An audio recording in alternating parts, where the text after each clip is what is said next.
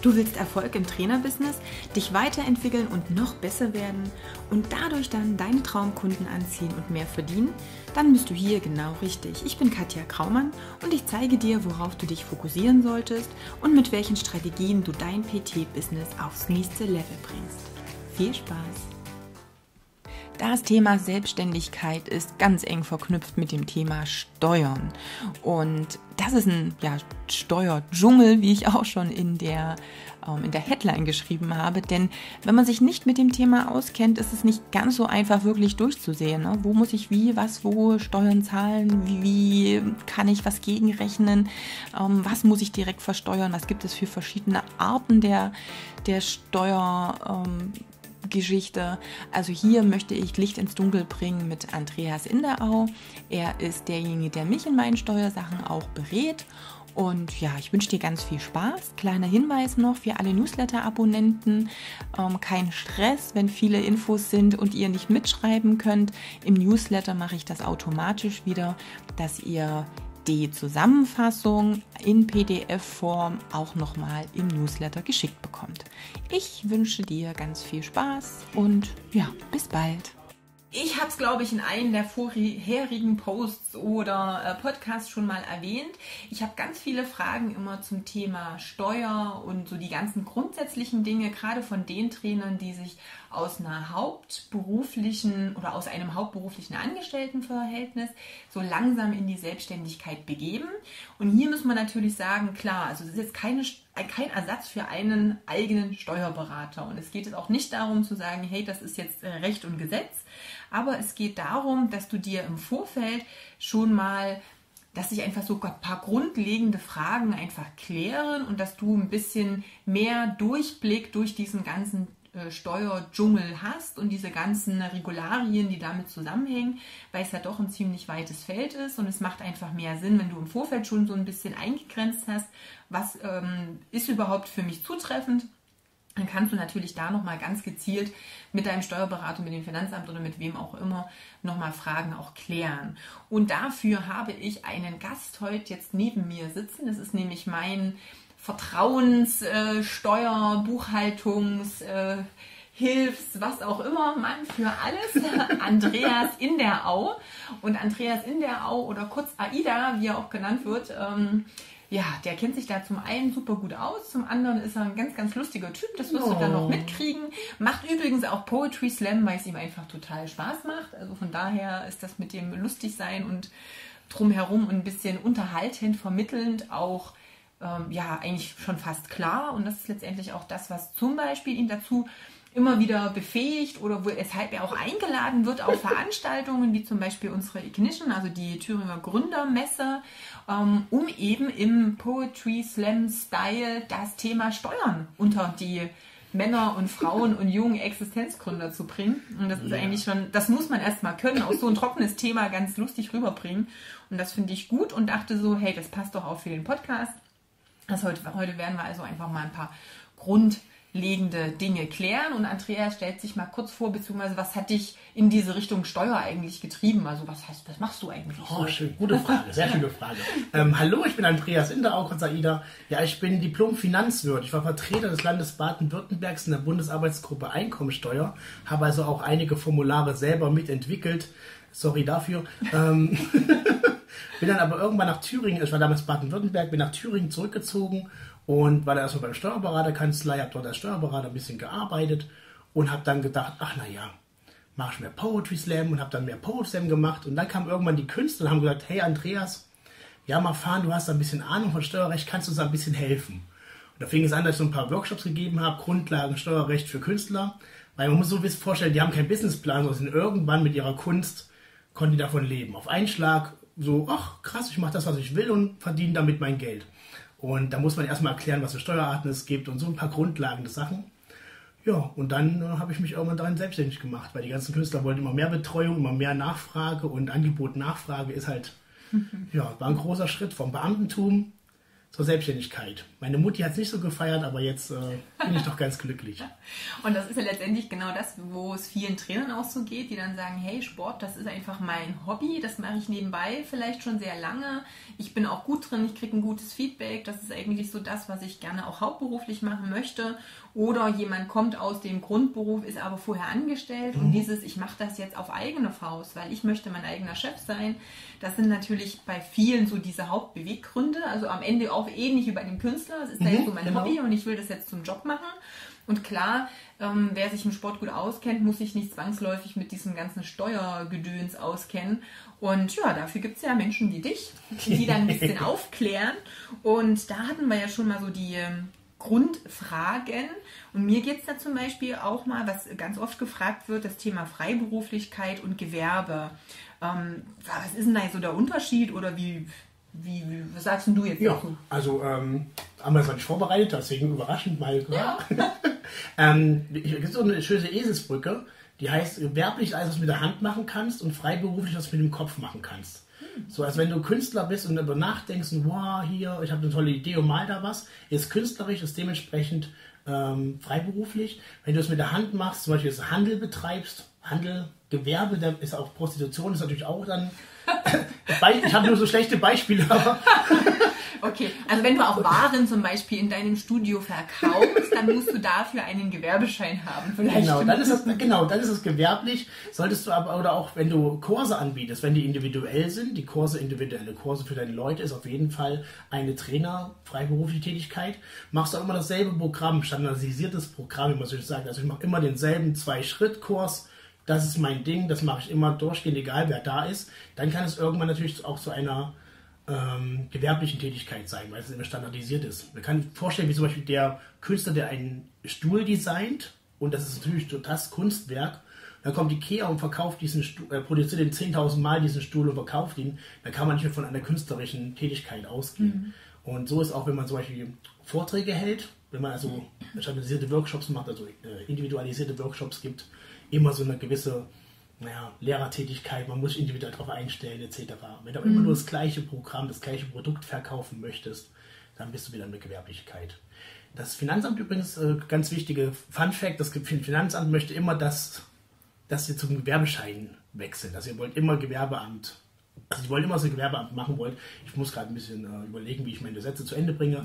Aber sobald das, das irgendwann klar ist, werde ich mir wird das schon irgendwann klappen. Ich muss mich erst eingewöhnen. Ich rede selten ein Mikrofon hinein.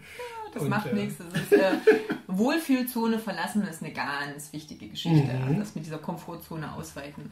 Das heißt, was ist der Vorteil vom Finanzamt gesehen, wenn du ein Gewerbe hast und nicht freiberuflich bist? Es ist so, dass das Finanzamt ähm, dich dazu leiden möchte, gewerblich zu sein, damit du, wenn du über 24.500 Euro Gewinn haben solltest, dann fängt die Gewerbesteuer an. Es gibt also einen Freibetrag von 24.500 Euro. Solange ist es euch egal, ob du freiberuflich oder gewerblich bist. Sobald du diesen Gewinn überschreitest, was vielleicht bei manchmal passiert das. Manchmal passiert so ein One-Hit-Wonder, irgendwas verkauft sich super toll, du hast 60.000 Gewinn und denkst so, juhu, juhu. Und es hat noch einen zweiten Vor- und Nachteil. Wenn du 60.000 Euro Gewinn haben solltest oder 600.000 Euro Umsatz, musst du bilanzieren, wenn du gewerblich bist. Wenn du also freiberuflich bist und hast eine Million Euro Umsatz, ist es total egal. Du kannst Millionär werden mit Freiberuflichkeit. Es würde niemals Gewerbesteuer und niemals eine Bilanzierung hm. zuständig sein. Das Schöne ist auch, wenn man nicht bilanzieren muss, spart ihr euch auch den Steuerberater tatsächlich, weil die sind nur Pflicht bei Bilanzierenden. Mhm. Und ich muss auch sagen, es sind, das können ja sehr teure Angelegenheiten sein. Vor allem, wenn man bilanziert und bucht, kann so 3.000, 4.000 Euro mindestens sein, dass man sich so ein bisschen überlegt, lohnt sich das jetzt schon ganz groß im Gewerbeamt hier mit bilanzieren oder versuche ich erstmal, weil ich ja noch gar keine Einnahmen habe, das erstmal so ähm, noch selbst zu helfen. Hm. Deswegen genau. die Freiberuflichkeit. Wie sieht das dann mit der Umsatzsteuer aus? Also die, die 19% Mehrwertsteuer jetzt vielleicht für den, ähm, für den Hörer jetzt auch. Macht das einen Unterschied, wenn ich freiberuflich bin oder ein Gewerbe habe? Ob ich das ähm, angeben oder wir, wir zurückholen kann bei Ausgaben? Ähm, das ist natürlich eine ganz andere Steuerart jetzt. Also wir haben natürlich die Gewerbesteuer jetzt gerade besprochen. Mhm. Da gibt es auch noch die Einkommensteuer, die Umsatzsteuer und natürlich, wenn man im schlimmsten Fall muss man halt alle drei Steuern zahlen. Das ist immer so, was? es gibt noch mehr, es gibt noch mehr Hundesteuer und alles. Das kommt jetzt nicht zur Selbstständigkeit dazu. Ähm, die Umsatzsteuer wie der Name schon sagt, bemisst sich nach dem Umsatz. Mhm. Das Witzige ist, die deutsche Umsatzsteuer ist dasselbe wie die europäische Mehrwertsteuer. Mhm. Also ihr müsst keine Angst haben, dass ihr Mehrwertsteuer und Umsatzsteuer zahlen müsst. Es ist exakt dasselbe. Es ist Viele haben Angst, was ist denn die Mehrwertsteuer und die Umsatzsteuer, was ist der Unterschied? Es ist genau das Gleiche. Mhm. Deswegen äh, können wir hier, ob wir Mehrwertsteuer oder Umsatzsteuer sagen, ist egal. Die Umsatzsteuer bemisst sich, mm, also so ist es, dass alle Unternehmen müssen Umsatzsteuer ausführen, abführen und bei, mhm. also einnehmen und wieder abführen als mhm. Finanzamt. Aber das ist natürlich ein Riesenaufwand, wenn du sag mal, du verkaufst einen, einen Pulli und jetzt müsstest du auf einmal Mehrwertsteuer machen, eine Umsatzsteuerprüfung oder Umsatzsteuererklärung abgeben, kannst die Vorsteuer ziehen von den ganzen Sachen, so ein riesen Hackmack und dieser Büro bürokratische Mehraufwand ist so viel, naja, anstrengender als das, was eigentlich hm, aufwendiger, aufwendiger hm. als Lohn wert ist. Und da hat man gesagt, okay, alle, die unter 17.500 Euro Umsatz haben, Umsatz, nicht Gewinn, also was man einnimmt, mhm. wer unter 17,5 ist, der hat ein Wahlrecht, ob er Umsatzsteuer machen möchte oder nicht. Mhm. Er kann sozusagen optieren nach Paragraph 19 Kleinunternehmerregelung. Mhm. Dementsprechend macht man es aus Vereinfachungsgründen und sagt, hey, bin ich unter 17,5, prima, mache ich keine Mehrwertsteuer. Sollte man unter 17,5 sein und trotzdem die Mehrwertsteuer ausführen wollen, ist man auch verpflichtet, fünf Jahre lang Mehrwertsteuer abzuführen durchgehend. Ja. Es ist also eine eigene Entscheidung, eine Messungsgrundlage. Wenn ich viele Ausgaben habe, lohnt es sich tatsächlich die Mehrwertsteuer zu ziehen, weil man da auch die Vorsteuer ziehen kann von den Sachen, die ihr gekauft habt. Ähm, wenn ihr aber mehr Einnahmen habt und weniger Ausgaben, lohnt es sich tatsächlich erstmal den Ball flach zu halten und die Mehrwertsteuer außen zu lassen, weil auch der bürokratische Wahnsinn dann erstmal vorbei ist. Dann mhm. habt ihr mhm. nur Brutto und alles ist einfacher. Erstmal. Genau, also am Ende, und das ist halt nochmal so fürs Rechnen eine wichtige Geschichte, für den Endkunden, also wenn ihr mit dem Tra also ja, einem Endkunden ein Personal Training macht, ist es dem ja egal, ob ihr jetzt eine Mehrwertsteuer damit ausweist auf der Rechnung oder nicht. Im Normalfall kann er das Training jetzt nicht irgendwie mit gegenrechnen. Es sei denn, ihr habt viel mit Firmen zu tun. Dann könnte das für eine andere Geschichte sein. Aber für alle die, die wirklich hauptsächlich Endkunden haben, ist es den Endkunden egal. Für dich ist es dann nicht unbedingt egal, denn das wäre so das Beispiel, wenn wir sagen, ähm, du möchtest 100 Euro für ein Personal Training als Preis ansetzen und die 100 Euro sind jetzt brutto, ne, dann heißt es, wenn du als Kleinunternehmer giltst, sind die 100 Euro deine. Du musst mhm. also davon jetzt keine 19% Mehrwertsteuer abführen. Wenn du aber nicht mehr unter diese Kleinunternehmerregelung fällst, dann führst du davon 19% ans Finanzamt ab. Oder wenn du das eben netto behalten möchtest, müsstest dann 19% obendrauf schlagen. Und dann macht das für den Endkunden natürlich einen höheren Preis. Also von daher, gerade für die, die sich vielleicht auch nebenberuflich selbstständig mhm. machen und das langsam aufbauen, ist es durchaus überlegenswert, dann zu sagen, ich fange erst mit der kleinen Unternehmerregelung an. Wenn irgendwann mal die Umsätze größer werden, wird das Finanzamt eh anklopfen und sagen, genau. ach übrigens, jetzt ähm, sind Sie nicht mehr Kleinunternehmer, jetzt sind Sie also umsatzsteuerpflichtig. Wieder zurückgehen im Nachgang, das hat Andreas schon gesagt, geht eben nicht. Also es war bei mir damals so ein bisschen das Problem, dass mein aller, allererster Steuerberater mich, als ich nur nebenberuflich mhm. selbstständig war, gleich komplett als ähm, umsatzsteuerpflichtig angemeldet hat. Und damit war ich natürlich verpflichtet, vom ersten Euro Umsatz dann schon 19 Prozent abzuführen, was eigentlich damals total blöd war. Ich hatte gar, kein, also gar nicht so viel Ausgaben und hat auch nicht so viel Umsatz. Also ich war weit unter den 17.500 Euro, als ich das eben neben meinem 40-Stunden-Job noch nebenbei gemacht habe. Und das war dann ein bisschen schade. Ich konnte dann einfach nicht mehr zurück. Ja, genau. Das, also ist, das, das ist ziemlich schade, wenn sowas passiert. Das ist auch das, wo man denken muss, was denn die Absicht? Warum macht man denn das? Natürlich sind das wieder mehr Buchungen. Hm, da muss man ja nicht, Steuerberater nur, ist es nicht nur Kasse an Auto, sondern Kasse an Auto und Kasse an Umsatzsteuer zum Beispiel. Da hat man hm. auch immer, oh, zwei ja. Buchungen gezaubert. Also hm. doppelt so viel Arbeit. Ja, genau. Das ist dann immer, also auch da natürlich bedenken. Und das ist vielleicht auch nochmal so ein wichtiger Hinweis der Steuerberater, den bezahle ich nicht nach dem Gewinn, den ich mache, sondern häufig entweder nach dem Umsatz, äh, dass er da prozentual bestimmte ähm, Sätze hat oder eben auch oder und auch zum Teil mit den Buchungen. Also wie viel Ein- und Ausgänge habe ich, wie viel Zahlungen habe ich, wie wird das verbucht. Also wenn ihr da euch einen Steuerberater sucht, also guckt auch wirklich genau, wie wird da abgerechnet, was wird in Rechnung gestellt, dass dann am Jahresende im schlimmsten Falle nicht irgendwie plötzlich ähm, die Augen groß werden, weil man mehr Kosten hat, als man dann am Ende selber an Einkünften hat. Oder die, die Tele Telefonkosten. Ich Oh ja. 120 Euro hat ein Mandant von mir mal gehabt. 120 Euro Telefonkosten und Steuerberater. Wie lange habt ihr telefoniert? Genau. Also das ist dann auch so schön, das hatte ich dann auch mal. Dann hieß es äh, irgendwie, ja, wir ähm, haben da vom, vom Finanzamt ein Schreiben bekommen, da wurde das und das nachgefragt. Und dann hat er, sollen wir das jetzt mal anrufen und klären oder wollen Sie das machen? Und ich so, na, ich habe da jetzt nicht so viel Ahnung, es wäre schon schön, wenn Sie das machen. Zack, 30 Euro Kosten nochmal drauf. wenn man das vorher nicht weiß, kann das auch so ein bisschen so, okay, schwierig sein.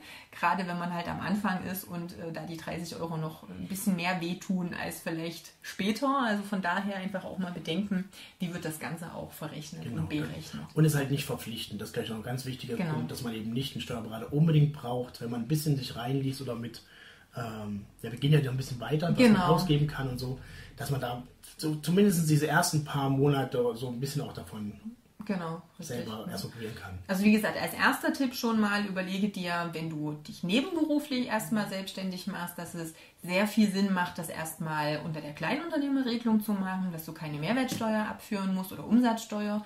Damit kannst du schön diese Einnahmen, Ausgaben über äh, Einnahmen, Überschussrechnung 1, 2, 3, also quasi wirklich Einnahmen und Ausgaben gegenrechnen und ähm, kannst es relativ easy gestalten. Ähm, wenn du schon weißt, dass der Umsatz höher wird, weil du vielleicht auch ähm, schon weißt, dass du mehr Umsätze machst oder eben das hauptberuflich machst, dann halt eben überlegen, schon mal, geht es in die Freiberuflichkeit, geht es in in das Gewerbe, also was mache ich da? Da kannst du dich natürlich auch nochmal beraten lassen. Wer wäre noch ein guter Ansprechpartner, um so diese Unterscheidung, ist das, was ich jetzt vorhabe? Also zum Beispiel miete ich mir Räumlichkeiten an, mache ich jetzt dies oder jenes noch, ähm, ob das jetzt Richtung Gewerbeanmeldung oder Freiberuflichkeit geht. Wer wäre da noch so ein guter Ansprechpartner, um sich sinnvoll beraten zu lassen? Hast du da einen Tipp? Also es gibt das Steuergesetzbuch tatsächlich. ähm, Paragraph 18 zeigt die ganzen äh, Berufsgruppen, die sozusagen freiberuflich sind, definitiv. Und die, die es nicht sind, sind halt Paragraph 15 gewerblich. So, das ist, kann man erstmal so festsehen. Man könnte auch zum Gewerbeamt gehen. Tatsächlich bin ich da hingegangen, habe dann gef damals gefragt, wie ist denn das? Und da haben die auch gemeint, nee, das ist da nicht unser Ding. Sind die ganz safe. Im Zweifelsfall geht man einfach da, geht ihr davon aus, dass es freiberuflich ist. Und wenn das Finanzamt das anderes feststellen sollte und ihr noch nicht über 24,5 seid, dann ist es ja erstmal auch irrelevant. Und die werden sich dann schon bei euch melden, wenn da irgendwas denen komisch vorkommt. Im Zweifelsfall ist ihnen das eigentlich auch egal. Okay. Ähm, vielleicht dann noch als kleiner Spoiler oder nochmal Zwischenruf, wo es nochmal eine Unterscheidung gibt, beziehungsweise wo man nochmal genau gucken muss, aber das ist jetzt nicht das Thema von heute, da gehen wir vielleicht irgendwann anders nochmal drauf ein, ist die Rentenversicherungspflicht. Das ist nochmal ein anderes Thema, hat aber auch so ein bisschen was mit diesem freiberuflich sein und was mache ich denn da wirklich als, als Trainer auch. Aber das ist, wie gesagt, nochmal eine separate Geschichte. Ja, da bin ich als Künstler zum Beispiel in der KSK drin, da bin ich rentenversicherungspflichtig tatsächlich als Künstler. Und ähm, das ist dann auch wichtig für die Elterngeldberechnung etc. Also es gibt auf jeden Fall immer. Also man, Steuern, Steuer ist übrigens auch nur ein Lenkungsinstrument. Also man kann das, es ist nicht das Ende äh, Nonplusultra. Wenn man dann sagt, okay, ich möchte ein höheres Elterngeld, kann man auch mehr Gewinn geben und ähm, Genau, also wie man das noch so ein bisschen steuern kann, die Steuer, da kommen wir nochmal drauf, Ja, wenn genau, wir erstmal schön. so ein paar, äh, ein paar grundlegende Dinge nochmal geklärt haben. Also du weißt jetzt erstmal unter 17.500 Euro Umsatz Kleinunternehmerregelung, alles was drüber ist, gilt nicht mehr als Kleinunternehmer, ist also umsatzsteuerpflichtig. Andreas hat schon angesprochen, dass es unterschiedliche Steuerarten gibt. Da haben wir zum einen eben die Umsatzsteuer, was ist gleich, also was auch die Mehrwertsteuer ist. Du hast die Gewerbesteuer angesprochen, die über diese 24.500 Euro Gewinn ist. Das ist jetzt wieder unterschiedlich. Vielleicht da gleich nochmal zur Unterscheidung. Umsatz ist wirklich alles, was reinkommt. Also Umsatz ist Einnahme, also ist auch noch eine andere Begrifflichkeiten. Definition ist immer ganz, ganz wichtig. Die meisten wollen immer Einkommen haben. Und Einkommen ist aber das, die Einkünfte. Und Einkünfte ist der Gewinn. Das heißt, ihr habt also die, den Umsatz, die Einnahmen, abzüglich der Ausgaben, Betriebsausgaben, ist gleich Gewinn, ist gleich Einkünfte, ist gleich Einkommen. Das sind immer ganz wichtige Betriebli äh, Begrifflichkeiten, die man Ja. erstmal drin haben muss. Und bis auf die Umsatzsteuer be- bemessen sich die meisten Steuern nach dem Gewinn, nach den Einkünften. Das heißt, Einnahmen minus Ausgaben gleich das, was ihr übrig habt, was ja auch fair ist. Genau. Das, das hat man ja rein theoretisch, kriegt man vielleicht, Beispiel jetzt, man, man hat 100.000 Euro, dafür muss man aber alle Leute bezahlen, bezahlt dann alle anderen Leute und kriegt dann nur noch Genau, am und Räumlichkeiten 100er. und dies und jenes und dann sind- bleiben vielleicht 20.000 übrig im Jahr und das ist dann am Ende der Gewinn und das ist dann das Einkommen, wie du schon gesagt hast. Das Genau. heißt, auf diesen Gewinn, Schrägstrich Einkommen, kommt dann die Einkommenssteuer Wie drauf. es der Name schon Genau, sagt, ne? fast, es ist fast schon zu einfach. Wenn man einmal den roten Faden hat. Genau, wenn man, wenn man einmal weiß, wie man gucken muss, dann passt das natürlich. Und die Einkommensteuer, die ist jetzt ab 2018, hat man einen Grundfreibetrag von 9000 Euro. Das heißt, solange ihr nicht 9000 Euro Gewinn übersteigt, zahlt ihr keinerlei Einkommensteuer. Erst wenn ihr drüber seid, fangt ihr dann mit 14% an. Und das dann äh, progressiv geht es dann nach oben und irgendwann seid ihr, oder exponentiell, irgend so ein cooles Wort, was voll klug klingt. Es geht dann immer höher. Der Steuersatz fängt bei 14 an und geht dann bis zu 48% hoch, wenn ihr 250.000 Gewinn habt. Solltet ihr also 250.000 Gewinn haben, legt euch mal lieber 50% davon weg, das ist nicht euer Geld. Das ist der Grund, warum so viele coole Rapper irgendwann immer im Knast landen, weil die kriegen immer dann eine Million, sagen, wuh, eine Million, aber vergessen, dass davon 500.000 Euro, wuh, der Staat tanzt dann dabei. Und ähm, das Dann muss man halt weg. wissen. Wenn weg, dann weg. Genau. Also wenn ihr mal einen großen äh, Deal auf einmal an Land zieht, nehmt am besten 50 Prozent, also wenn ihr so viel habt, dann 50 Prozent weg. Ansonsten reichen 20, 30 Prozent, die ihr euch auf die sichere Seite legt. Dann habt ihr beim Finanzamt erstmal keine Schulden oder wisst zumindest, dass sie das noch was bekommen, weil das ist immer der Trick. Wenn man Arbeitnehmer war, wie es ja anscheinend so die meisten Ja. sind erstmal, dann macht das der Arbeitgeber für euch. Da kommt der Arbeitgeber und behält dann Lohnsteuer ein. Lohnsteuer wird wie Einkommensteuer verrechnet, also genau dieselbe Steuer, nur halt anders benannt, weil es der Arbeitgeber halt macht. Dann hat er, hat er immer so ein Brutto-Netto. Das ist das, was ihr auf dem Konto habt, ist Netto und was ihr eigentlich bekommen solltet, ist Brutto. Und dann denkt man immer so, ja, als Arbeitnehmer habe ich halt mein Netto, fertig ist der Lack, man freut sich. Aber eigentlich hinter dem ganzen Netto wird ganz viel abgezogen. Und das macht dann in der Selbstständigkeit keiner mehr für euch. Da gibt es kein, stell dir vor, du gehst zum Personal, äh, machst ein Personal Training, er gibt dir 100 Euro und sagt, hier sind aber nur 60, weil 40 werde ich noch dem Staat geben. Das macht niemand. Du kriegst die 100 Euro direkt in die Hand.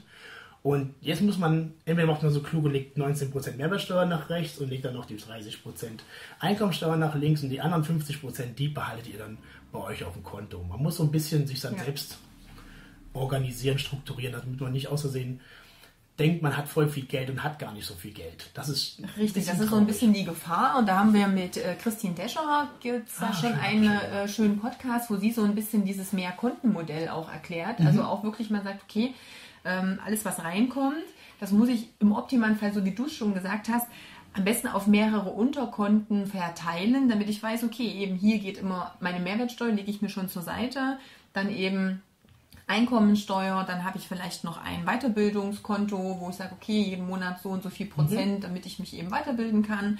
Dann kommt noch ein bisschen was für privat äh, drauf, weil da habe ich natürlich auch äh, Ausgaben und ich will vielleicht auch noch was sparen. Also es macht Sinn, das aufzudröseln, damit ich am Ende wirklich weiß, was ist denn jetzt übrig und nicht einfach alles ausgebe und dann kommt plötzlich die Steuer und dann habe ich dieses Geld nicht mehr auf der hohen Kante. Genau. Das ist m, gerade so am Anfang eben eine, ein totales Umdenken, weil die Andrea schon gesagt hat, dass vorher letztendlich der Arbeitgeber für dich macht und so musst du das halt jetzt übernehmen. Und das ist gerade, wenn du anfängst, wirst du ganz häufig ja auch nur auf quartalsmäßige, also wenn du umsatzsteuerpflichtig sein solltest, geht es ja auch bei der Umsatzsteuer schon los, dass es dann am Anfang ganz oft erstmal auf quartalsmäßig umgebucht Nee, wird. nee, im ersten Jahr tatsächlich machen, das Finanzamt weiß ja gar nicht, was du machst und die Okay. machen im ersten Jahr gar nichts. Achso, genau, dann So, noch schlimmer. Dann, Im ersten Jahr machen sie gar nichts, dann bist du auf einmal, machst du eine Umsatzsteuer- und Einkommensteuererklärung, dann fällt auf, oh, du bist umsatzsteuerpflichtig.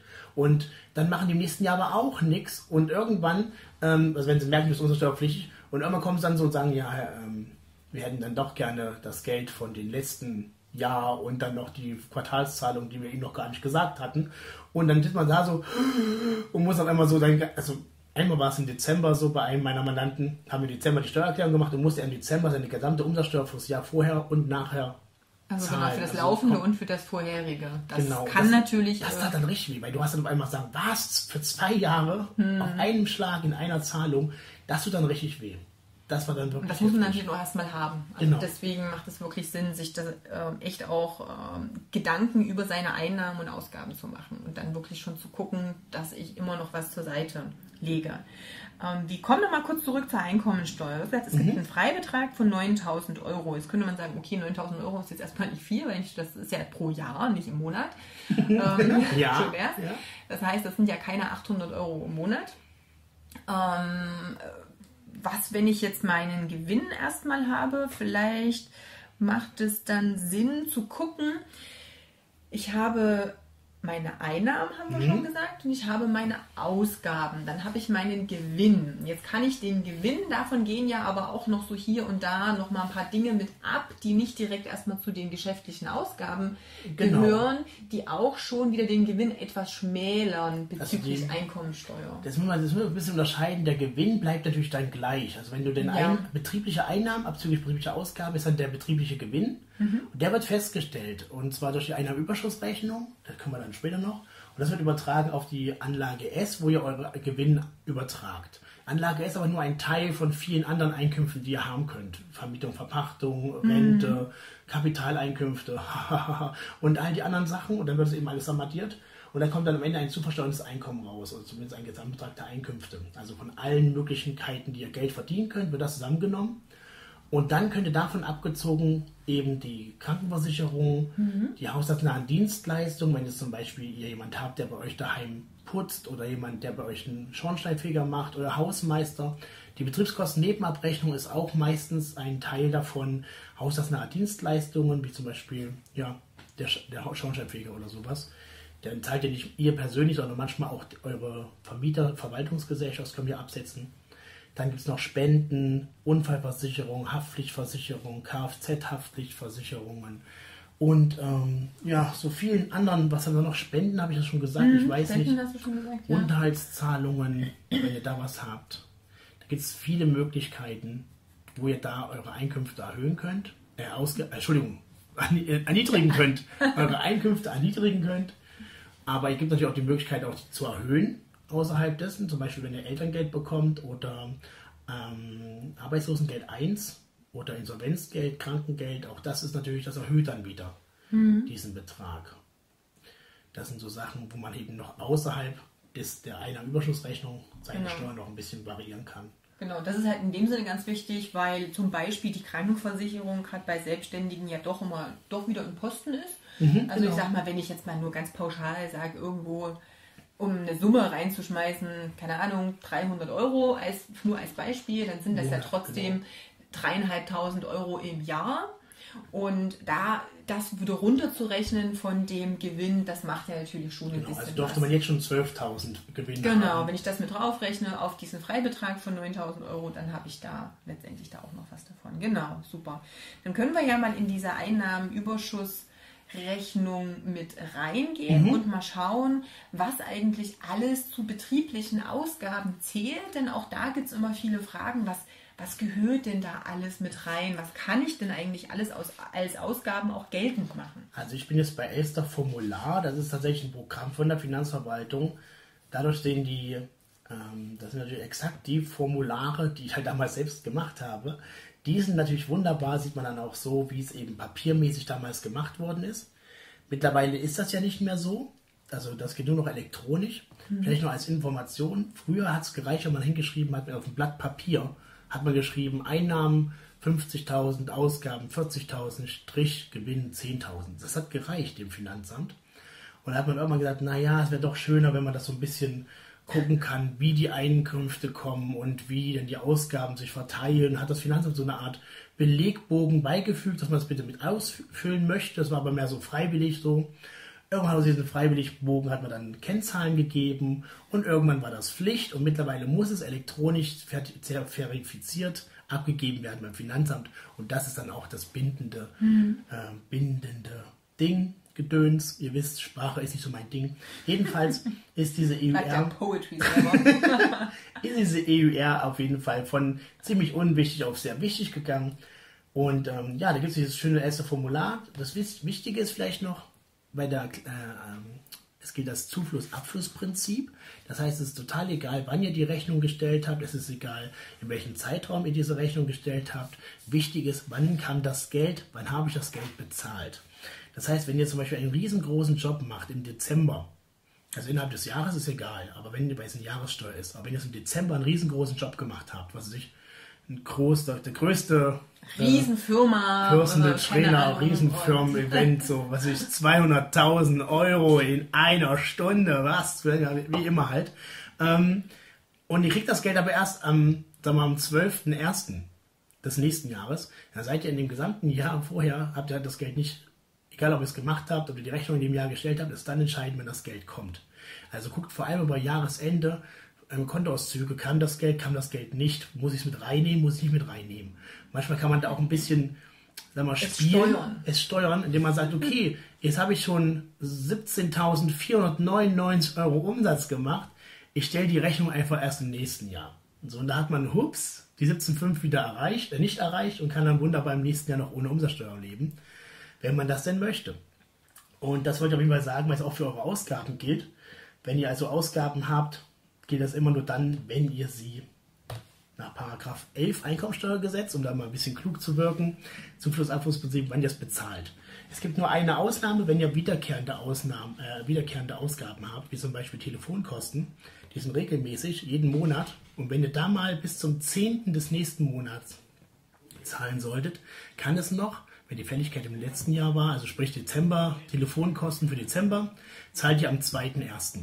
Dann seid ihr innerhalb des nächsten 10-Tageszeitraums und dann fällt es wieder zurück in den Dezember. Ist ein bisschen tricky, gar nicht so schwer wie man. Man muss immer 10 Tage noch ein bisschen mehr merken bei Regelmäßigkeiten. Ansonsten ist es doch immer nur dann, wenn es bezahlt wird. So, dann gucken wir mal, was wir Ausgabenmöglichkeiten haben. Ähm, diese Liste ist auf Seite 2, hat eine ganze Seite nur Ausgabenmöglichkeiten, die das Finanzamt anbietet. Und da gehe ich einfach mal durch, weil es macht mega viel Spaß. Hat zum Beispiel Waren und Rohstoffe, Hilfsstoffe und Nebenkosten. Wenn ihr als zum Beispiel T-Shirt selber druckt und ihr kauft euch die Garn und Faden, könnte man das da reinnehmen. Bezogene Fremdleistungen, zum Beispiel ihr habt gebrochenes Bein und jemand anderes muss für euch den Kurs halten und der stellt euch eine Rechnung. Dann ist sozusagen wie ein Subunternehmen. Jemand, der genau das macht, was du auch machst, der ist dann sozusagen euer Fremdleistungs-Subunternehmer und die könnt ihr dann dort geltend machen. Ist ganz gut, wenn ihr so Leute habt, die genau, für euch Trainer, arbeiten, Trainer, genau. Oder aber, wie wäre es denn auch, wenn ich jetzt zum Beispiel sage, ich gebe jetzt so ein bisschen Bürokram ab und habe da jemand, der stundenweise mir ein bisschen beim Abheften meiner Quittungen oder beim Eingeben irgendwie hilft. Oder meine Website ähm, mir hilft, das jetzt irgendwie auf Vordermann zu bringen. Ja, bei, der Webseite, bei der Webseite würde ich lieber auf Werbekosten gehen, kommen wir noch ah, dazu. Okay, weil das ist dann, das sieht das, das, wenn es irgendwann mal, wenn ihr Verluste macht, wie ohne Ende, ne, wenn ihr ganz viel Verluste macht, dann sagt das Finanzamt irgendwann, okay, ist Liebhaberei. Hm. Ihr macht es ja ohne Gewinnabziehungsabsicht.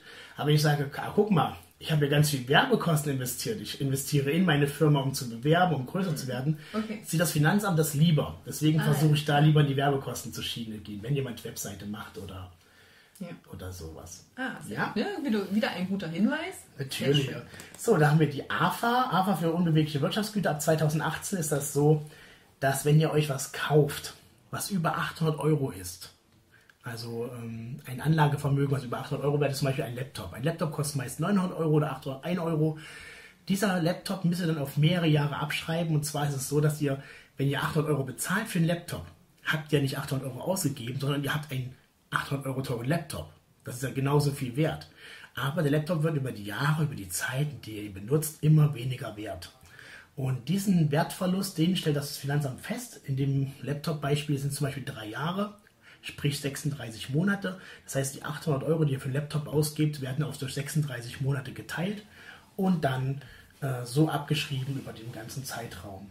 Dann haben wir noch Miete und Pacht für Geschäftsräume, sprich, wenn ihr euch zum Beispiel eine Location sucht, die ihr ja, bespielt, wie hier zum Beispiel. Untermieter, Untermieter, würde auch gehen, also wenn ihr in ein bestehendes Studio oder so mit reingeht und das auch stundenweise vielleicht anmietet, also da sind nicht nur Dinge drin, die eure eigene Location betreffen, aber das wäre natürlich klar, das äh, Ding, aber wenn ihr eben auch sagt, okay, ähm, eben zweimal die Woche eine Stunde im Studio X nutze ich jetzt im Kursraum oder mache da einen Vortrag und bezahle da Miete. So, genau, genau, Raummiete für diesen genau, Moment. dann würde das auch mit rein. Eine Garage, wo ihr Sachen abstellt oder Fitnessgerät, wenn ihr nicht oder so. Einfach, man kann dafür schon eine Menge.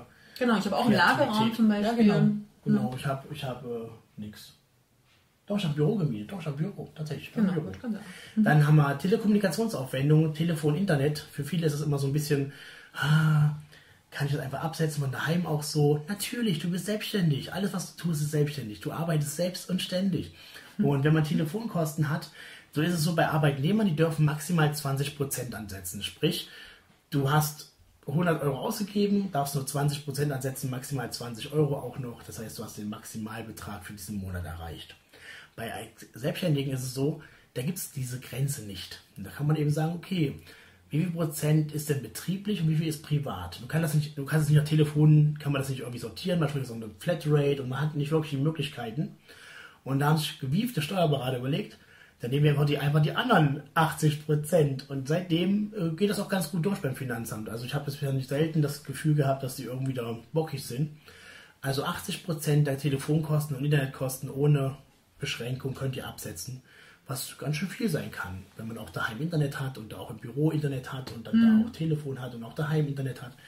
Da hat man schon eine Menge. Was auf jeden Fall nicht geht, ist aber Skynet oder solche Fernsehfilmchen gucken.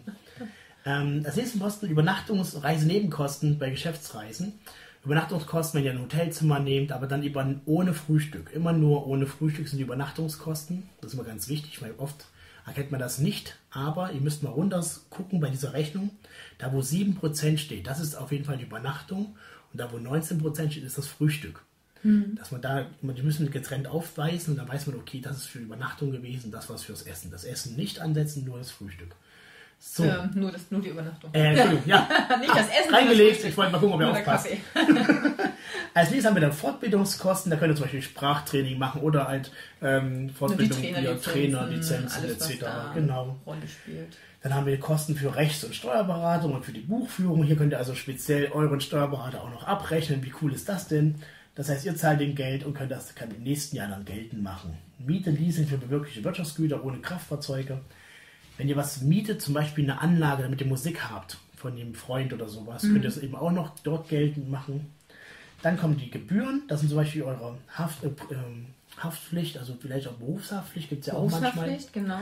Dann aber auch Gebühren, wenn ihr irgendwelche? Trainerlizenzen, GEMA natürlich auch. Also wer ein Studio hat, wer Musik nutzt, muss man halt auch überlegen, was ich für Musik nutze. Ne? GEZ, GEMA, GEZ ist auch aufs Geschäft leider. Ja, auch fürs Auto vor allem. Genau, also äh, auch wenn ihr keine Räumlichkeiten habt, die gucken wirklich, hast du ein Auto? Und wenn du ein Auto hast, dann bist du auch ähm, auf dem Weg zu deiner Arbeit mit diesem Auto unterwegs. Und damit ist das schon geschäftlich. Das heißt, du hörst dein Radio geschäftlich.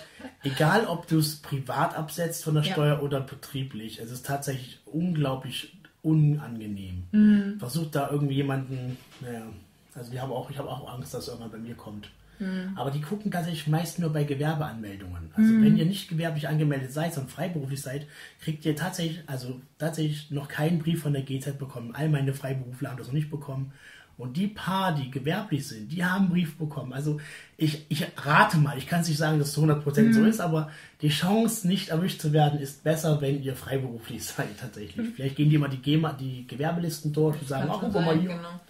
Also was wir auch schon hatten bei uns damals, als ich in der Innenstadt noch war, dass dann der GEZ-Typ wirklich auch durch die Straßen gegangen ist und hat geguckt, auf welchem Auto Werbung war. Uh. Und hat dann darauf natürlich auch oder daraus auch geschlossen, okay, das ist jemand, der jetzt sein Geschäft damit bewirbt. Gerade wenn du dann deine Firma und deine Adresse oder Telefonnummer noch hast. Also auch darauf sind die dann Krass. gegangen. Also von daher so über die, um die GZ rumzukommen, ist dann ein bisschen schwierig, leider Gottes. Ähm, dann habt ihr noch als nächstes Posten die Werbekosten. Jetzt kommen sie gerade, Katja. Ähm, Inserate, Werbespots, Plakate, Webseite, eure E-Mail-Adresse ist natürlich auch Werbekosten.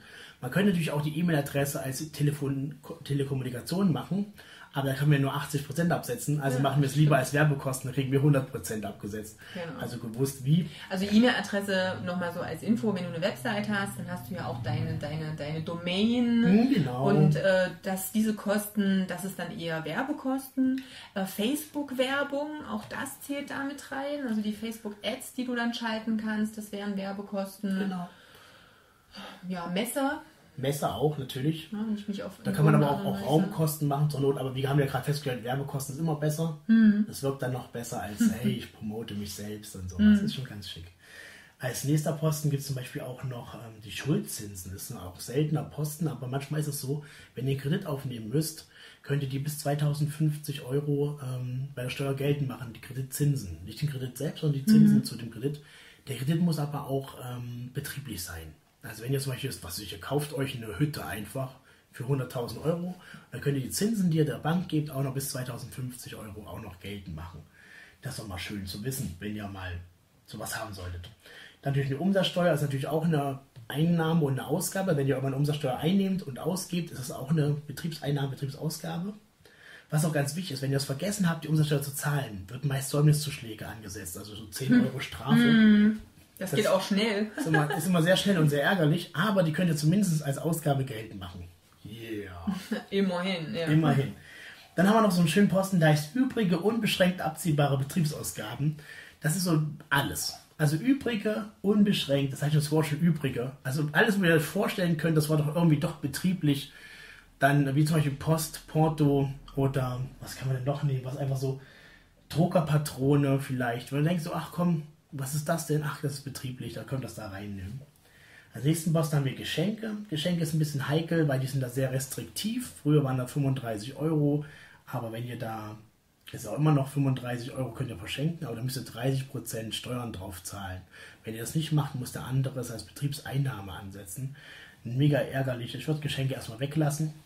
Dann haben wir Bewirtungsaufwendung. Das ist so ein ganz schönes Posten. Ihr könnt essen gehen und es von der Steuer absetzen, wenn ihr einen betrieblichen Nutzen dahinter habt. Zum Beispiel mit Geschäftskollegen geht ihr essen. Dann könnt ihr 70% des Essens Bewirtungsbelegs absetzen bei eurer Steuer. 70%, das ist ziemlich viel man geht davon aus, dass du einfach nur 30 Prozent isst. Keine Ahnung, wie die auf 70 gekommen sind. Auf jeden Fall, da waren die Lobbyisten waren da ziemlich gut an, unterwegs. Wichtig ist, hat nur die Voraussetzung, es müssen zwei Essen drauf sein. Also, ja. das ist der Grund, warum ich immer zwei Cheeseburger bestelle. Für euch als Trainer ist es natürlich ein bisschen schwieriger. Da zwei Cheeseburger. Zwei Salate. zwei Salate. zwei Steaks mit Gemüse. genau, also ich habe es ich hab's verpasst im Moment.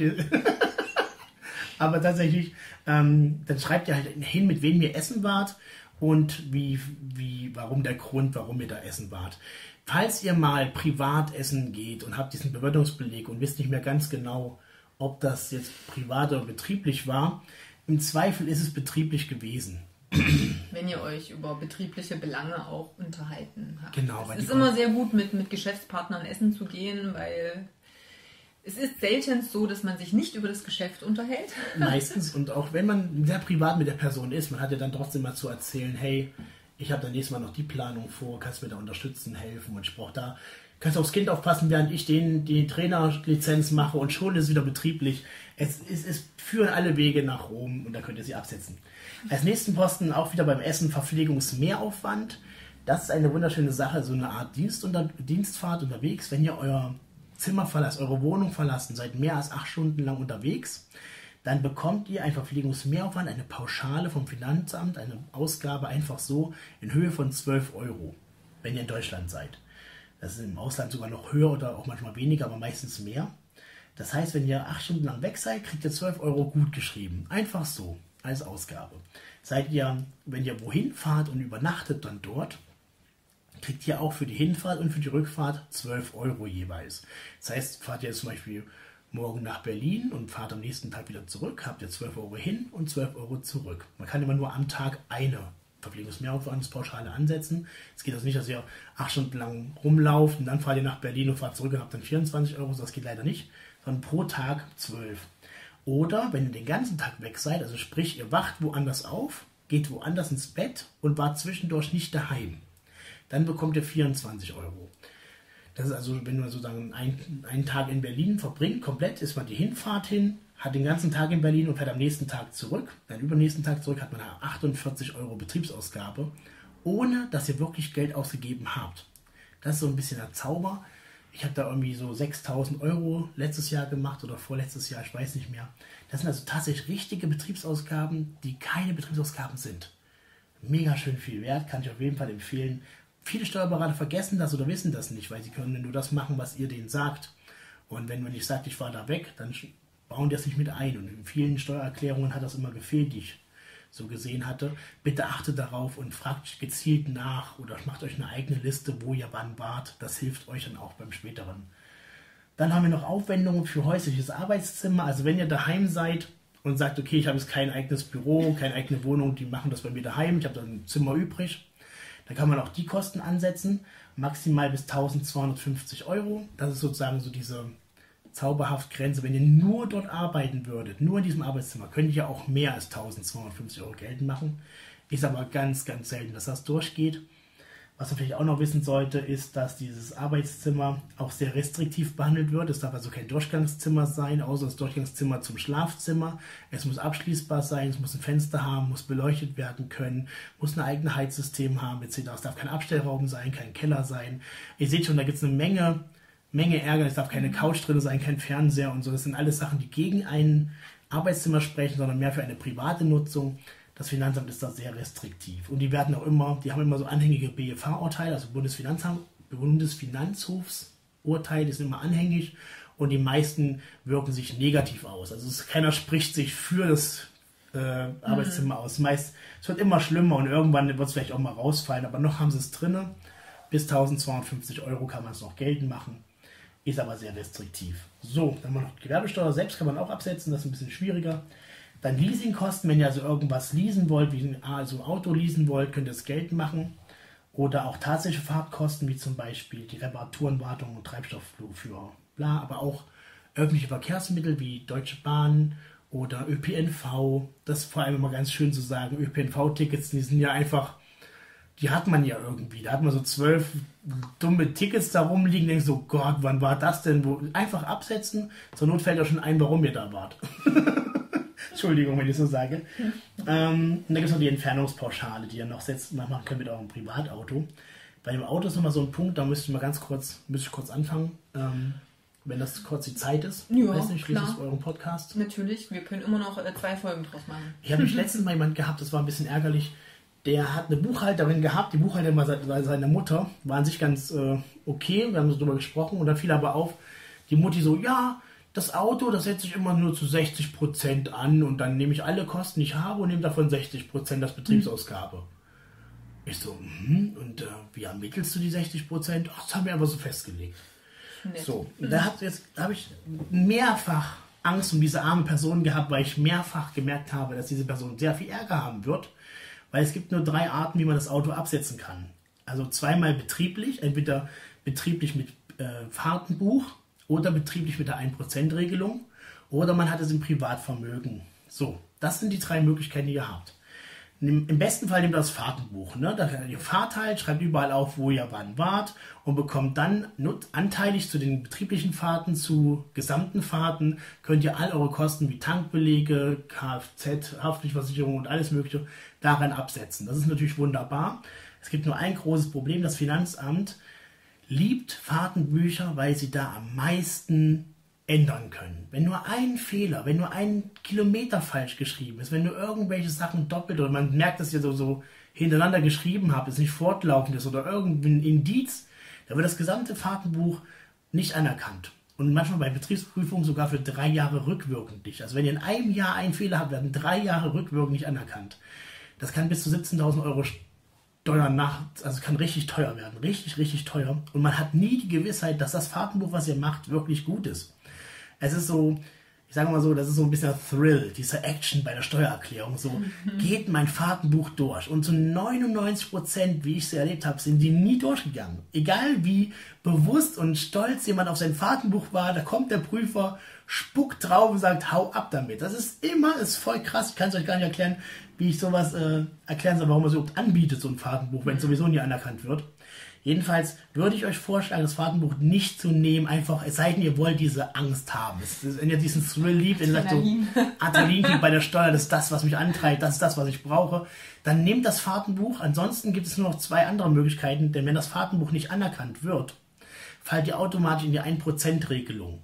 Die 1%-Regelung klingt erstmal total verlockend. Ihr könnt nicht mehr anteilig absetzen, ihr könnt alles absetzen. Und zwar jeden Tankbeleg, jede Parkquittung, jede Reparatur, jedes ähm, noch so kleine Änderung könnt, ihr, Änderung könnt ihr komplett absetzen mit der Steuer. Das ist eigentlich wie ein kleiner Traum.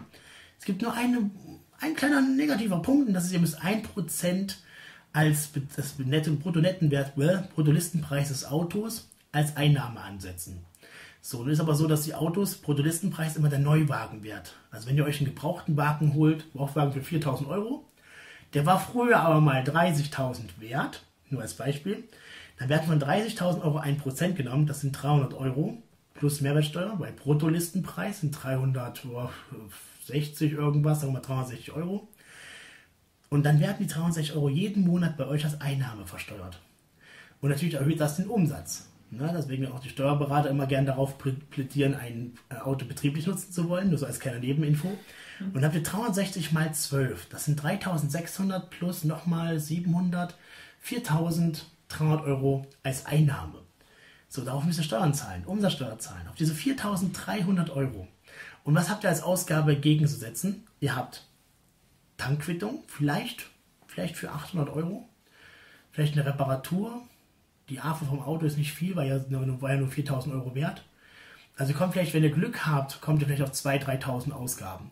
Das ist am Ende, wenn ihr das Auto abgesetzt habt als Betriebsausgabe und es auch betrieblich auch nutzt, müsst ihr am Ende 1.000, 2.000 Euro mehr versteuern, mhm. als wenn ihr es nicht gemacht hättet.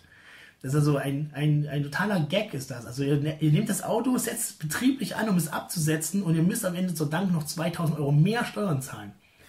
Das ist, der größte Trick der Menschheit, und die Steuerberater empfehlen das, wo ich immer nur den Kopf schütteln kann. Ähm, wenn ihr ein Auto habt und ihr benutzt das betrieblich und privat, empfehle ich euch das Auto tatsächlich privat zu belassen. Das heißt, ihr dürft nur 49% dieses Auto betrieblich nutzen, alle anderen Fahrten nicht. Vorteil, ihr, dürft, ihr braucht kein Auto, äh, kein Fahrtenbuch mehr führen und könnt einfach so rumcruisen und schreibt euch auf, was ihr am 01.01.2000 des Jahres an Kilometer hattet und schreibt euch auf, was ihr am letzten Tag des Jahres an Kilometer hattet. Dann wisst ihr, was die Gesamtzahl der Kilometer ist. Und dann könnt ihr eure betrieblichen Fahrten geltend machen und guckt, dass ihr eben unter 50% seid. Falls ihr noch eine betriebliche Fahrt gemacht haben solltet, die über 50% bei euch geht, was sagt so, ah, da war ich noch in Kiew, ne, für 1000 Kilometer, dann erinnert euch daran, dass ihr Kiew ja vielleicht auch privat besucht haben konntet. Also Privat-Kiew-Besuch. Ihr habt da bestimmt jemanden gekannt dort und schon ist, seid ihr wieder bei 49% betrieblicher Nutzung. Ihr könnt das Auto also noch privat benutzen, weil wenn ihr drunter seid, könnt ihr es privat benutzen, seid ihr drüber, müsst ihr es mit 1% versteuern. Mhm. Deswegen darauf aufpassen und dann habt ihr ganz schnell nochmal 49% eurer Kilometer und die könnt ihr mal 30 Cent ansetzen und das sind dann, wenn ihr 30.000 Kilometer fahrt im Jahr, sind 15.000 Kilometer davon betrieblich und davon mal 3 Cent sind 4.500 Euro Betriebsausgabe. Das heißt, ihr habt die 6.000 Verpflegungsmehraufwand, ihr habt die 4.500 Euro 30 Prozent 3 äh, Cent Pauschale, 30 Cent Pauschale noch. Genau, nuschel nicht so. Ich nuschel immer so extrem. Und habt ihr auf einmal 10.000 Euro Betriebsausgabe, ohne einen Euro ausgegeben zu haben. Und dann Zusätzlich, weil genau, ist und da grinse ich halt immer. Also wenn ihr mal wirklich außerdem zu viel Geld haben solltet, kann jedem mal passieren, das sind die Möglichkeiten, das zu kürzen. Puh, das war jetzt ganz schön viel. Das war ganz schön viel, aber das sind ja auch letztendlich die Dinge, die, wo viele gar nicht dran denken. Ähm, und wie gesagt, gerade so das Auto als Firmenwagen, das klingt immer so toll. Ne? Ich ja. habe dann noch einen Firmenwagen, aber wenn man dann wirklich mal dahinter äh, guckt, ähm, was was habe ich denn wirklich unterm Strich dann davon? Bringt es mir was oder habe ich sogar mehr Kosten? Oder am Ende setze ich gar keine Fahrten an und will äh, mein Auto komplett rauslassen und bin dann vielleicht sogar noch besser. Also ja. das ist ja dann Quatsch. Ne? Also das heißt, ich muss ja schon gucken, dass ich meinen Gewinn durch solche Sachen eben auch schmälern kann. Und wenn ich das Auto eben nutze, dann kann ich es, wie gesagt, ganz easy und vor allem einfacher, weil dann habe ich, ich habe wirklich für mich auch nur eine stupide Excel-Tabelle, wo ich mir vorhin mein Datum reinschreibe, mhm. sage, da bin ich jetzt zur Fortbildung nach, was weiß ich, da und dahin Kiew. gefahren. Kiew, sind wir bei Kiew, genau. ähm, dann schreibe ich mir halt immer das Datum hin, wann ich losgefahren bin und das Datum, wann ich wiedergekommen bin, weil dann weiß ich auch gleich mit dem Verpflegungsmehraufwand und schreibe mir dann die Kilometer, die ich halt dann in der Zeit gefahren bin, dann auf. Und schon das hört man. Genau, das hört man, das ist aber nicht schlimm.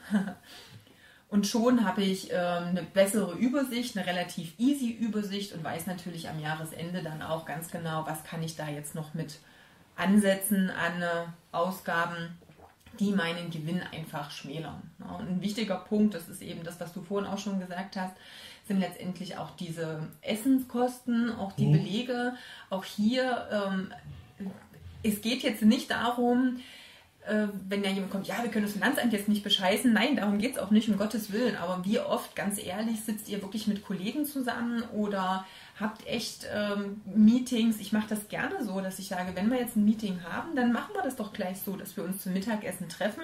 Das hat mehrere möglich oder mehrere Vorteile für mich. Zum einen, die Mittagszeit ist häufig die Zeit, die, wo ihr sowieso einfach freie Zeiten habt, weil vielleicht vormittags oder morgens und eben nachmittags, abends die Zeiten sowieso verplant sind. Das heißt, ihr könnt die sinnvoll nutzen, könnt das mitten im Essen verbinden und können dann diese Kosten auch noch anteilig in die Steuererklärung mit reinnehmen. Und was ich noch sagen möchte, es geht natürlich, habe ich auch erlebt, Eigenbelege, wo man sich selbst einen Zettel schreibt, ja, habe ich gemacht. Das gilt nicht. Das ist mhm. zum Beispiel tatsächlich ein Betrug.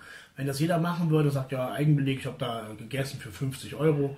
Das geht nicht. Ihr habt das Geld ja tatsächlich ausgegeben. Also es ist ja nicht so, dass wir irgendwie bescheißen und sagen, ja, wir waren jetzt vielleicht essen für irgendwie und hier. Ihr habt das Geld ja tatsächlich ausgegeben. Und jetzt ist nur die Absichtsvermutung, die liegt bei euch. Das heißt, ihr wisst, ihr habt, ihr habt jetzt eine Quittung, da steht da offiziell, ihr habt Geld ausgegeben. Und jetzt fragen wir uns, ist das Geld betriebliche Absicht oder nicht betriebliche Absicht? Immer so ein schönes Beispiel, wir spielen wieder mal, ich, hatte mal, ich habe auch Pornodarsteller bei mir in meinem Mandantenkreis. Und ähm, wenn jetzt jemand ein Dildo zum Beispiel sich kauft, ist das natürlich privat. Definitiv privat. Aber wenn du Pornodarsteller bist, ist der private Nutzen eben weniger. Dann ist der betriebliche Nutzen aber immer höher. Und so muss man es auch ein bisschen sehen, warum kaufe ich mir Dinge, warum mache ich das? Und wenn ihr da den betrieblichen Nutzen seht, dann kann man es absetzen. Zum Beispiel bei euch ist zum Beispiel, wenn ihr euch zum Beispiel das kann man nehmen, so ein, so ein Trainingsgeräte. So eine Handel zum Beispiel. Ne? Oder ihr habt euch einen extrem komischen Briefbeschwerer geholt. Da könnten jetzt Leute sagen, ja, dieser Briefbeschwerer ist ja natürlich auch schon ein bisschen privat. Ist ja nur, das hängt ja nur rum. Aber ich sage, ja, aber den brauche ich zum Gewichteheben. Das ist mein Gewichtheber-Ding. Das ist halt mein Vorführeffekt-Ding. Nur als Beispiel, als Spaß jetzt natürlich.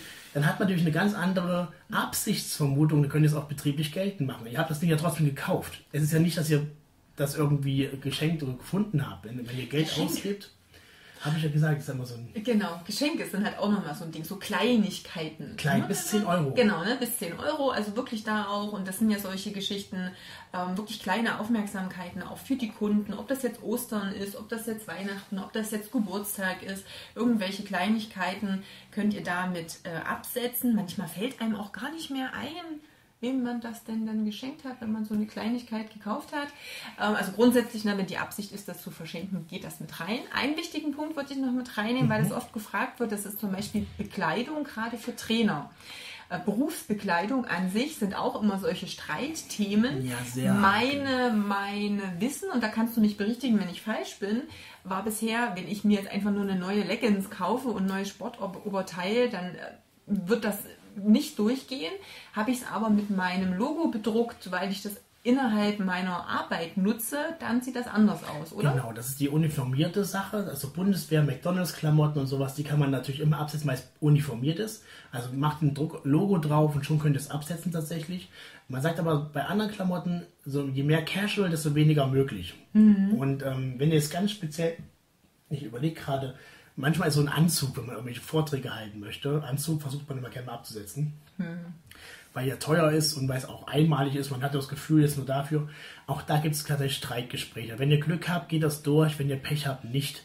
Im Zweifelsfall würde ich es mal ansetzen und gucken, ob es durchgeht. Wir hatten jetzt solche bei einer äh, Kollegin, habe ich mal Steuer gemacht. Die wurde komplett, war Steuerberater, ging durch, mussten nachzahlen. Wir haben komplett nochmal neu hm. Steuererklärung gemacht und sie hat dann das Geld zurückbekommen tatsächlich aber sie wurde auch geprüft, weil alles war ja anders auf einmal. Mhm. Und es ging alles durch, bis auf der Blazer. Mhm, so, okay. Dieser Blazer war halt, obwohl es ja. doch wichtig war, auch für den Beruf, mhm. ging nicht durch. Und es ist immer so ein bisschen 50-50. Also ich würde euch vorschlagen, wenn ihr bedruckte Klamotten habt oder so, definitiv, da könnt ihr sogar als Werbemittel natürlich wieder absetzen. Ist ja euer Logo, genau. was Gerade wenn ihr uns vielleicht den Kunden zur Verfügung stellt, auch. Genau. Also auch das, wenn ihr sagt, hey, ich habe jetzt tolle T-Shirts und ich schenke das vielleicht auch meinen Kunden, weil er soll Werbung für mich draußen machen, wenn er mit dem T-Shirt rumläuft und meinem Logo, ist ja, das auch perfekt, Werbung. Genau. Ne? Jedenfalls nicht einmal jetzt zum, zum Aldi gehen, die Sportschuhe holen, Aldi dann die, die Trainingshose, weil das, das ist, also bei H&M eine Sporthose, dass das durchgeht, ist eigentlich so gut wie null. Auch wenn ihr Sport, ihr könnt, ich, ich streite mich dann immer genau. In dem Moment, es kommt genau innerlich so, ja, was bin ich für die Arbeit, ist doch nur für den Betrieb. So, ja, du hast ja auch recht und es tut mir leid, dass ich es sagen muss. Ich habe auch mal mit meiner Umsatzsteuerprüferin gestritten wegen meinem Waschtrockner, den ich gern absetzen möchte, weil ich habe gemeint, hey, ich spare damit so viel Zeit, ich kann neue Aufträge annehmen, weil ich nicht mehr die Wäsche trocknen muss und so lange kann ich eben nicht arbeiten, solange meine Wäsche trocknet. Und selbst das geht nicht durch, weil es dann doch zu privat ist, wie und was ich für Klamotten trage. Aber ich habe es versucht. Ich habe den Kampf bereits schon gemacht und ich habe ihn verloren. Und das zu wissen ist immer ganz gut. Also ich habe es auch nicht einsehen wollen, aber jetzt muss ich es halt. Klamotten sind für mich mittlerweile so, okay, dann nicht. Ich habe manchmal noch so Bühnenoutfits, die ich solche deklariere auch. Manchmal geht es durch, aber. Hm. Vielleicht auch noch, wenn ihr jetzt wirklich eigene Räumlichkeiten habt und ihr stellt da irgendwie jeden Montag einen Strauß Blumen auf den Tisch, damit es immer ganz toll aussieht, mhm. dann äh, zählt das auch zu den. Äh, Übrigen unbeschränkt abziehbaren Genau, ich glaube, es gab da sogar noch mal so einen extra Begriff bei mir in meiner Steuer. Deko? Da ging es irgendwie um. Ich kann ja parallel noch mal, noch mal genau. nachgucken. Das war auch so ein witziger Bürodeko. Witziger, das Repräsentationskosten. Das ging ah, irgendwie unter Repräsentation, das, das also alles, was man so an, echt, okay, mhm. das war direkt in dieser äh, Software da so drin, dass wir gesagt haben, also alles, was ich jetzt, also an zum Beispiel so den Strauß Blumen auf dem Tisch im Beratungsraum, ähm, sagte so, das ist auch nett, dann kann man das. Also das ist das Programm, ich habe das letzte bei so einem, ich mache ja auch Steuerfortbeildungen und da gab es zwei verschiedene Möglichkeiten, wie man so eine Betriebsfeier zum Beispiel macht. Da gab es mhm. so ein Golf, Golfturnier, ne? Mhm. Und die einen haben es eben beworben mit, mit dem und dann haben die eben gesagt, okay, dieses Golfturnier ist ähm, nur zu repräsentativen Zwecken. Es hat also keinerlei Werbedings, sondern mehr so repräsentativ, so ja, wir schmücken uns mit den tollsten und teuersten Sachen ah, okay. und haben es deswegen nicht anerkannt. Ah, okay. Weil es nur repräsentativ war. Das war so ein ah. bisschen, da haben, das ist hm. so, ein kleines Schlagwort, wo Leute so ein bisschen aufmucken. Also bei dem Wort. Also doch lieber Werbekosten. Ja, bei dem Wort oder übrige besonstige. Genau, da, da, da, hm. kommt so ein kleiner Moment, also es geht ein bisschen tiefer ins Detail, aber es gibt natürlich auch so Möglichkeiten, wenn es nur repräsentativ ist. So, ich habe mir jetzt mal diesen teuren Luxuswagen oder irgendwas absetzen. Irgendwie gibt es so Probleme bei sowas. Okay. Bei, cool. bei Feierlichkeit und sowas. Aber man ja, könnte, wie gesagt, wenn man das jetzt so einfach sagt, hey, ich muss da irgendwie ein bisschen was aufwerten, damit es nur angenehm ist, also jetzt mal ganz blöd, ich meine, für unser Studio, das ist ja das Klopapier natürlich, was natürlich du verbrauchst. Das sind ja alles so, so Dinge, die äh, einfach Verbrauchsmaterialien sind. Oder auch der Kaffee, den ich dann eben dem Kunden anbiete genau. für das Erstgespräch. Ob ich da auch nochmal einen Kaffee mit trinke? Hm? Wenn, wenn ihr aber auch zum Beispiel einen Ventilator ansetzt, also einen mitnehmbar mobiler Ventilator, dann schreibt euch wenigstens auf, dass er im Büro hätte sein müssen. wenn dann da jemand kontrollieren kommt, dann wo ist wenn einer vorbeikommt, Genau. Das nur als Tipp auch, weil ich mache am liebsten als Adresse immer eure, also als Kommunikationssachen immer eure, äh, also eure Adresse reicht voll und ganz. Sie schreiben euch dann einfach an. Das ist völlig in Ordnung. Ihr müsst ja keine Mails checken vom Finanzamt. Manchmal ist es ein bisschen gruselig, wenn ihr eine Mail vom Finanzamt bekommt oder dann rufen sie auch manchmal an. Das sind so Sachen, wo ihr sagt, äh, was, äh, keine Ahnung, so. Lasst euch das einfach schriftlich geben. Lasst als Kommunikationsverbindung einfach nur eure Adresse, dann schreiben die euch einen Brief und dann ist es eigentlich auch ziemlich sicher. Man muss nicht immer alles geben, weil da hat man auch die Sicherheit, weil die schreiben erst einen Brief, melden sich für eine Woche später an und dann kommen die vorbei und prüfen dann. Hm. Und dann muss der Ventilator wieder zurückgestellt werden. Habt ihr euch nur ausgeliehen. Genau. ähm, vielleicht noch mal ganz kurz, weil ich glaube, da wissen auch viele nicht, das würde ich auch so ein bisschen als Abschluss äh, machen. Äh, du hattest vor uns mal ganz kurz so mit AFA und Abschreibungen und sowas. Also mhm. gerade so, wenn man jetzt mal in die Trainerrichtung reingeht, alles was jetzt so höherwertige Anschaffungen sind, da haben wir zum Beispiel sehr teure Trainingsgeräte. Keine Ahnung, ich habe jetzt in Rack äh, was ich mir jetzt kaufe für was auch immer, 1000 Euro, einfach nur mal um eine Summe zu nennen, dann kann ich das eben nicht voll in den Monat mit reinnehmen. Das muss ich dann wirklich abschreiben. Oder auch der Laptop, den ich für die Arbeit nutze. Auch der, es sei denn, er ist eben unterhalb des 800 Wertes. Euro bei 2018 hatte. Das wurde okay. gerade erhöht. Mhm, genau. Ähm, also wenn es teurer ist, dann muss ich das eben dann auch abschreiben.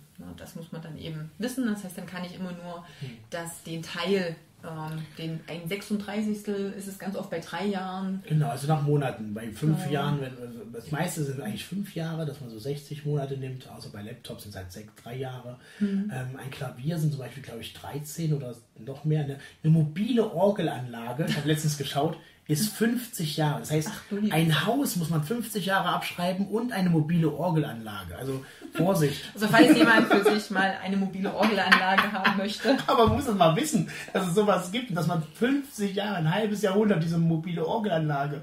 Überlegt euch, ob ihr mit 40 das noch kauft. Vielleicht erlebt ihr die Abschreibe, das Abschreibeende gar nicht Ich mehr. irgendwann so 88 Jahre, was hast, was, warum hast du immer noch deine, du musst ja dann immer noch deine Gewerbesteuer, dann immer, also deine Gewerbesteuererklärung machen. Was hast denn die noch? Ja, ich habe damals eine scheiß Orgel gekauft. die haben auch heute noch Geld. Zwischendurch wieder verkaufen, dann sind zwar nochmal Einnahmen, aber äh, ja, schwierig. Das ist aber auch ganz wichtig. Also sprich, du hast das Rack gekauft, schreibst es ab, 60 Monate. Nach zwei Jahren überlegst du dir, dass du es verkaufst, weil du dir irgendwas Neues kaufst. Dann hast du natürlich das Problem, dass dieses Verkauf, dass der Verkauf auch wieder die Einnahme natürlich ist. Also das darfst du dann nicht einfach mal so ähm, verkaufen und Ja, genau. Das dann- privat. Da weil es ja dann betrieblich ist tatsächlich. Genau, und du das lässt halt abschreiben und irgendwann, wenn es kaputt ist, schmeißt es halt weg. Genau, also nach den 60 Monaten könnte es sein, dass es einfach so arg benutzt ist, dass es einfach kaputt ist. Und ist es auch abgeschrieben Genau. und dann kann man es auch aus dem Firmeninventar Dann ist so da rausschreiben. rausgenommen. Genau.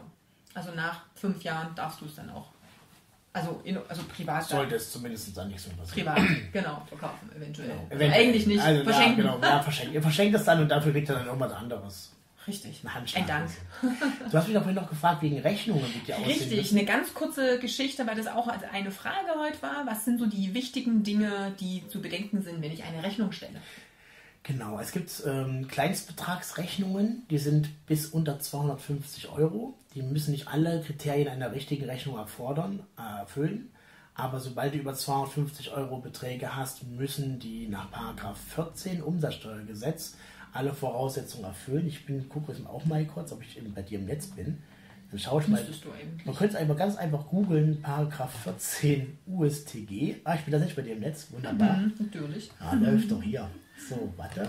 Das kann man wirklich, man kann wirklich googeln, Paragraph 14 USTG, macht Enter und dann geht dann immer so eine Seite das Gesetze im Internet.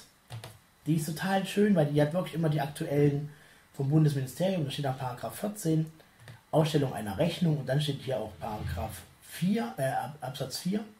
Eine Rechnung muss folgende Angaben enthalten. Den vollständigen Namen und die vollständige Anschrift des leistenden Unternehmens und des Leistungsempfängers, also sprich ihr und der das die Leistung empfängt, also dem ihr die Rechnung stellt. Die dem Leistungsunternehmer vom Finanzamt erteilte Steuernummer oder die ihm vom Bundesamt für Steuern enthaltene Umsatzsteueridentifikationsnummer. Also eure Steuernummer muss dann drin sein, das ist auch ganz wichtig, es sei denn, ihr seid unter 250 Euro, da braucht die Steuernummer nicht zum Glück.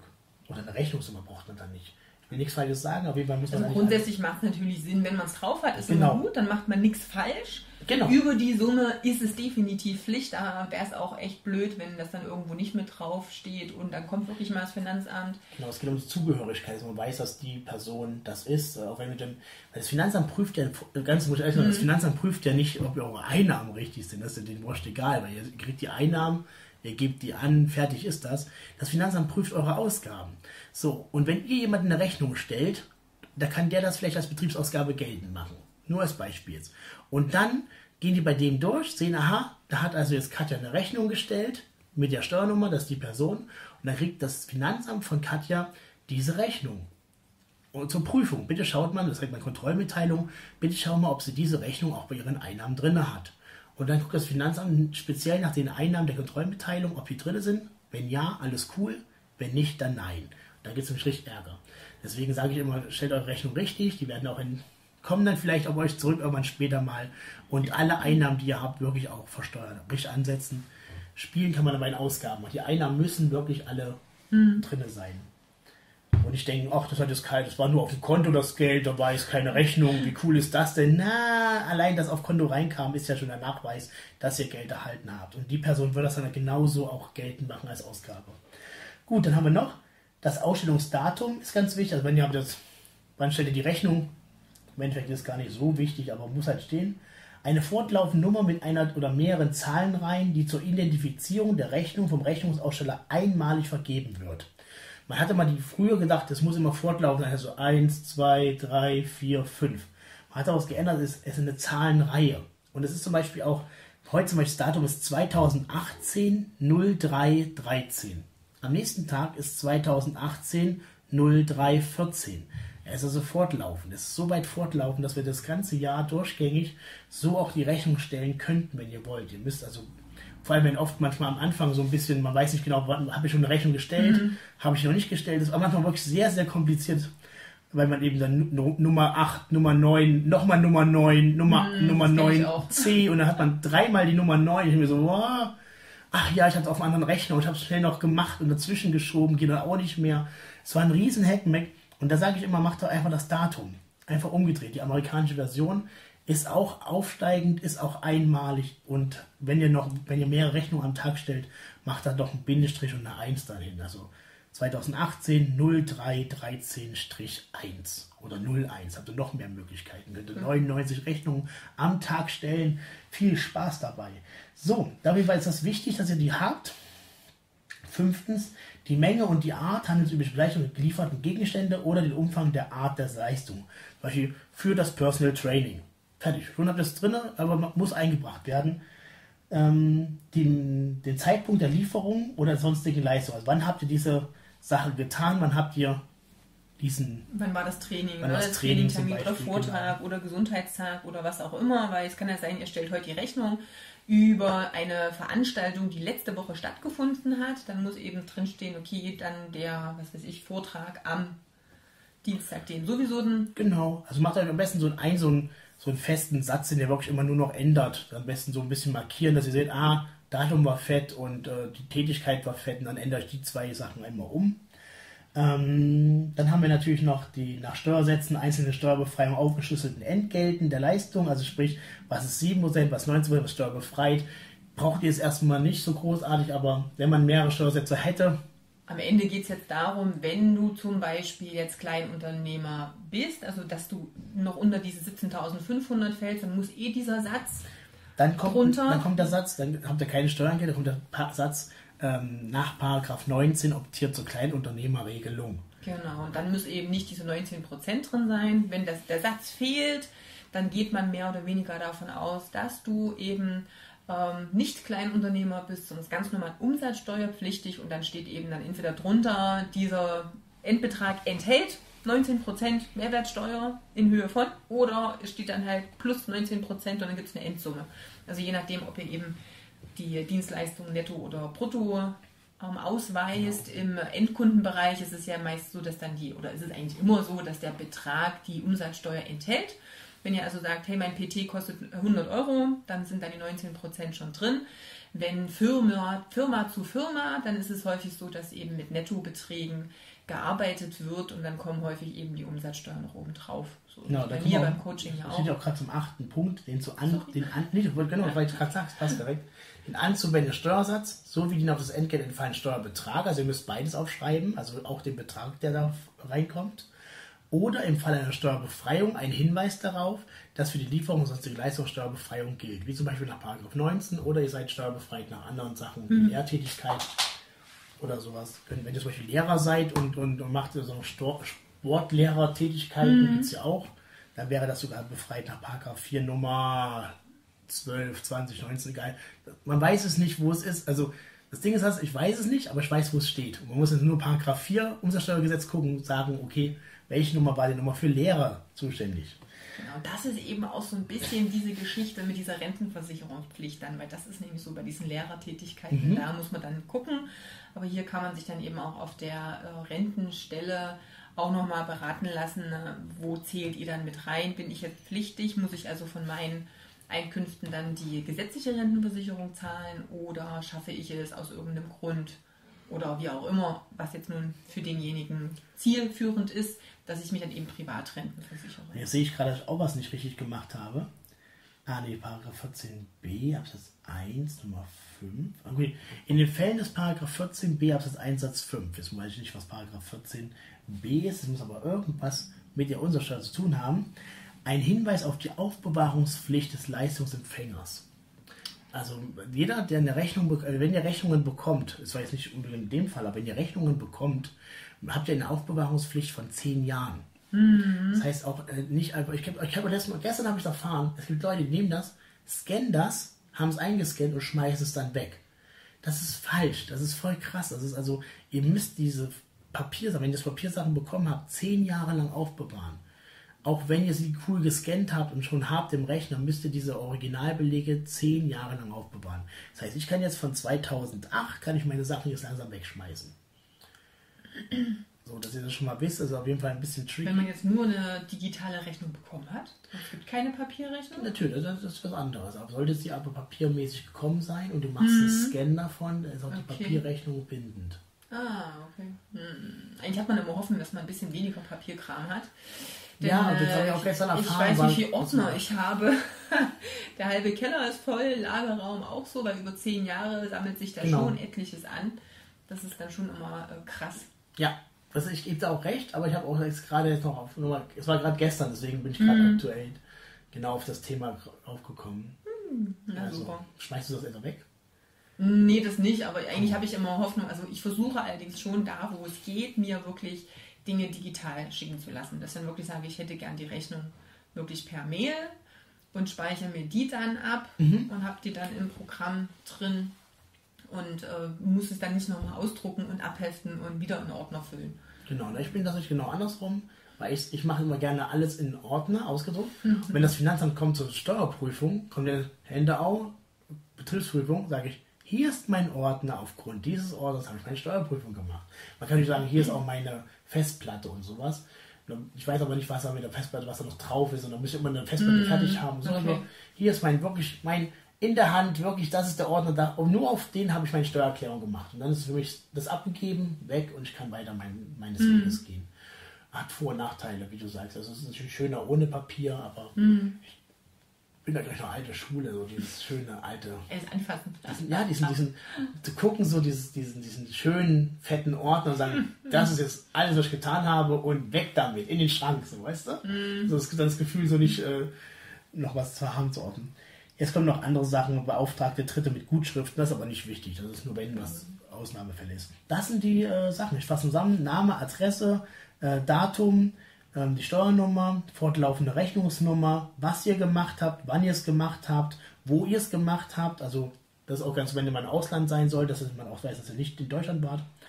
Ja, und dann eben den Betrag plus Mehrwertsteuer. Und fertig. Super. Prima. Ich glaube, es war wahnsinnig viel Input für die, ja, die jetzt gerade neu äh, da in dem Thema drin Ja, das bestimmt alles fünfmal jetzt noch an.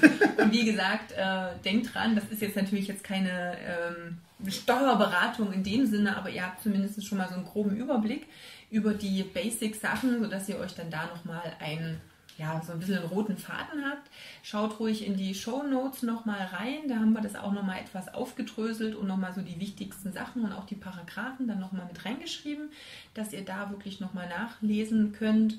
Ähm, ja, und ansonsten würde ich sagen, puh, erstmal tief durchatmen. Schweres, trockenes Thema, aber muss halt, ne? wir kommen da ja alle nicht drum rum. Ich genau. bedanke mich auf alle Fälle für deine ja, für das äh, ganz spontane Herkommen. Ja. Also gestern Abend gesagt, hier unbedingt müssen wir machen. Und äh, schon bist du da. Das ist super. Ja, ich war, wie gesagt, gerade erst beim, beim, beim Klinikum, jetzt sind wir nachher nochmal Frauenarzt und dazwischen haben wir eine wunderbare Zeit gehabt. Genau, also letztendlich, ne, das Kind wird gerade erwartet, äh, da hat man da, etwas, da, da, da, ist alles ein bisschen anders. Gut, lieber Andreas, ich hat Spaß gemacht. mich ja. und wir, ne, wir sehen uns ja sowieso bald. Stimmt. Für meine Steuererklärung.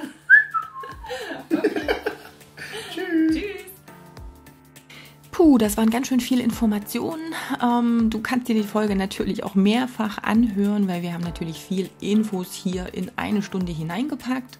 Ansonsten nur noch mal der Hinweis, wie gesagt, wenn du Newsletter-Abonnent bist, dann hast du wahrscheinlich eh in der E-Mail, die du bekommen hast zu der Folge, schon die PDF-Zusammenfassung. Ich freue mich, wenn du die Folge teilst, wenn sie dich interessiert, wenn du weißt, hey, derjenige braucht die Infos genauso und ansonsten hören wir uns natürlich in der nächsten Folge. Ciao.